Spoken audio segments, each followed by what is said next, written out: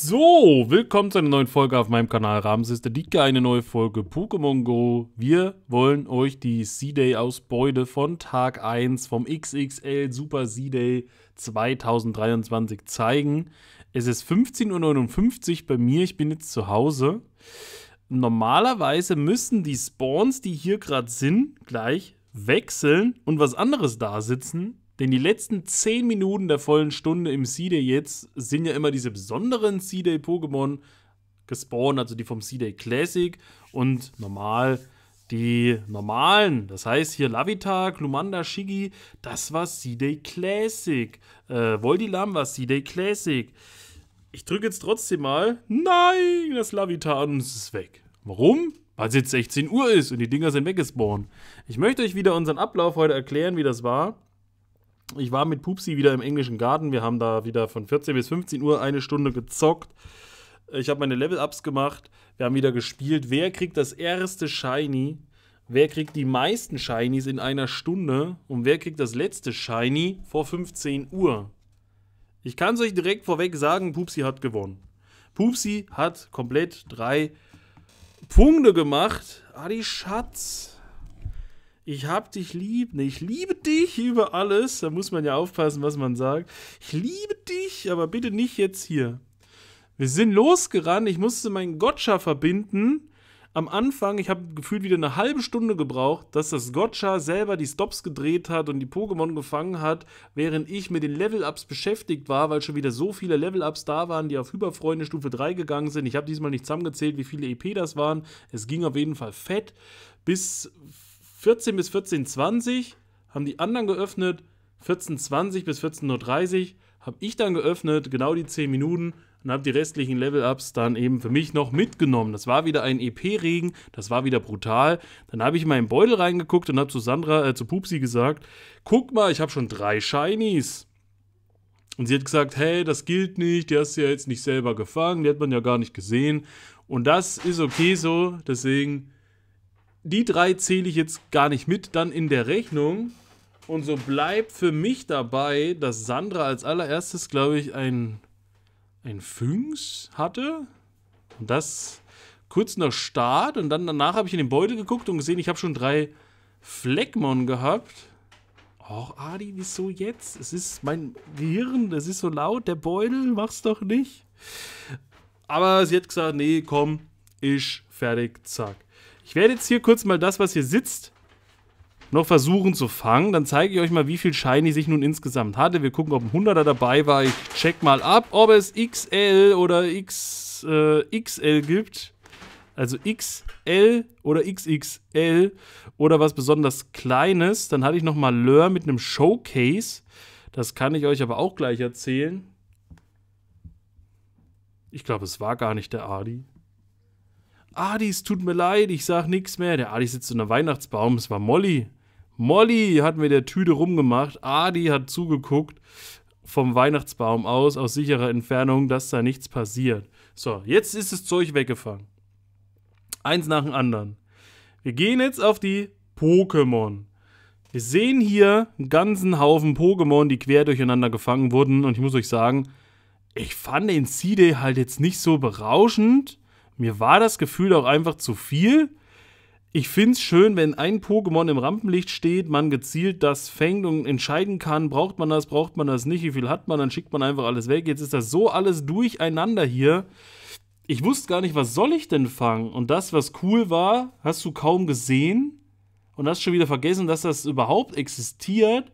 Und morgen das Ganze nochmal, aber doch wieder mit anderen. Also ist schön, um was nachzuholen, aber so richtig nachholen ist irgendwie trotzdem schwer, wenn alles so extrem durcheinander geht. Es ist jetzt auch nicht so extrem viel. Es war, wie gesagt, eine Stunde, dass wir hier gefangen haben, gelaufen sind. Ich kann einmal kurz vier Sternchen eingeben. Ist denn hier 100% dabei gewesen? Da ist nichts dabei von heute. Wie sieht's aus mit den Shinies? Shinies von heute dabei. Dieses Flagmon wurde geklickert ist mit dem Pokéball gefangen, deswegen. Fleckmon, Shiny. Fleckmon, Shiny, Fleckmon, Shiny. Das sind die drei Stück, die das Gotcha selbstständig gefangen hat. Dann halb habe ich das Gotcha ausgemacht, war auch mit den äh, Special Quests fertig, also mit der Spezialforschung und dem ganzen Zeug. Da sagen wir auch gleich noch was dazu. Hab dann dieses Teddy Ursa Shiny angeklickt bekommen im Stream. Den Stream kann man auch, eine Stunde kann man sich nachgucken, nachträglich auf YouTube. Das fand ich cool, das, das ist toll, weil ich finde, dieses, dieses Grün, was der hat, fand ich schön und weil Pupsi mit mir zusammen gespielt hat und ich den bei ihr bekommen habe, das erste, was ich angeklickt habe, habe ich den jetzt eben auch Pupsi genannt. Den haben wir also mitgenommen, dann gab es ein weiteres Fleckmon, dann gab es nochmal ein FM, dann gab es einen Toggetick, dann war es schon 15 Uhr. Ich, Thomas war gerade im Stream, ich habe zu ihm auch gesagt, boah, so ein Fleckmon mit so einem Senfkopf, das wäre auch cool, das hat der Habanero-Account noch nicht, weil das sieht ja richtig toll aus. Nicht goldbraun, sondern goldgelb. Wirklich, wenn man das fängt. Es war zwar schon 15 Uhr durch, wir mussten noch zum Auto laufen. Auf dem Weg zum Auto ist dann trotzdem noch das Fleckmon gekommen. Das hat mich gefreut, weil das finde ich auch sehr cool. Vor allem der Hintergrund und das Fleckmon an sich. Das Wiederum finde ich nicht so cool. Ich glaube, die muss ich alle verschicken und das muss ich aufheben. Und das waren meine Shinies. Das heißt, es sind insgesamt äh, neun Shinies gewesen. Ich habe aber nur sieben in der einen Stunde bekommen, eins auf dem Weg zum Auto und das muss auch wieder geklickert sein. Nee, ist immer noch mit Hyperball gefangen. Sandra hatte insgesamt jetzt weniger als ich, aber da ich die ersten drei nicht dazu zählen darf, hat sie doch mehr. Sie hat das erste Shiny bekommen, sie hat das letzte Shiny bekommen, sie hat die meisten Shinies bekommen. Das hat auf jeden Fall gepasst. Ich will ganz kurz mal hier nach XXS gucken. Da haben wir ein Shiggy heute gefangen, ein richtig kleines. XXS. Wenn wir nur XS eingeben, da ist einiges von heute dabei, und zwar dieses Fleckmon mit XS, dann dieses Quiekel, was trotzdem sehr fett aussieht, dieses Froxy, dieses Togetic und dieses Fleckmon. Wir brauchen ja aber immer XXL. Wenn wir nur XL eingeben, haben wir heute hier Igamaro, Mabula, Togetic, Froxy, Igamaro. Wenn wir XX L eingeben, haben wir immer noch dieses Igamaro bekommen als das größte Pokémon. Leider habe ich kein Igamaro Showcase gefunden, deswegen kann ich das nicht benutzen. Was war, ich habe gesehen bei einem Togetic, was wir gefangen haben, stand ja dann im Fangbildschirm, äh, nach dem Fang im Beutel dort, Tippe für Showcase in der Nähe. Und ich dachte, wenn du da drauf drückst, zeigt dir das an, wo ein Showcase in der Nähe ist, aber als ich drauf gedrückt habe, hat das direkt in irgendein Gesetz, der in der Nähe war. Ich wusste gar nicht, dass das funktioniert. Ich habe auch heute das erste Mal dann gesehen, dass wenn man in dieser Nearby-Liste ist, hier unten sowieso Showcases angezeigt werden, die in der Nähe sind. Ich gucke doch nie in die Nearby-Liste. Ich bin eigentlich immer nur hier bei den Raids und gucke nie in die Nearby-Liste. Habe gar nicht gesehen, dass Showcases hier unten angezeigt werden. Ich dachte, man muss trotzdem da hinlaufen, muss den vor Ort reinsetzen. Ich wusste nicht, dass wenn du in der Nähe bist, der automatisch den da reinsetzt. Jetzt hatte ich meinen Toggetick irgendwo drin, wo ich es gar nicht drin haben wollte, wo auch schon so viel los war. Ich habe nämlich immer meine drei äh, Spots, wo ich die setze. Ich konnte es aber retten. Denn ich habe mir einen anderen Showcase gesucht, der war mit Fünks. Das habe ich abgesetzt. Den zweiten, den ich gefunden habe, der war dann mit Toggetick. Das war gut. Da habe ich einfach irgendeinen Toggetick reingesetzt. Habe dann das größte Togetic nochmal ausgewählt und ersetzt, sodass es aus dem anderen Showcase rausgegangen ist, ist in den Showcase, den ich danach erst genommen habe. So war der in dem ersten aus Versehen gesetzten nicht mehr drin. Und ich hatte dann nur zwei Showcases und wieder einen dritten frei, den ich dann gefunden habe mit FM. Und das sind die drei Dinger.